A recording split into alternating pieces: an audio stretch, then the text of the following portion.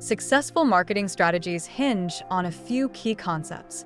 First, customer-centric organizations prioritize the needs and preferences of their customers, ensuring every decision aligns with their expectations. Next, conducting thorough market analysis helps identify trends and opportunities. Market segmentation allows us to tailor our approach to specific groups, enhancing engagement. The marketing mix, or the 4PS, product, price, place, and promotion, guides us in crafting effective strategies. Finally, strong branding builds trust and loyalty, making your brand memorable. Embrace these principles and watch your marketing efforts thrive.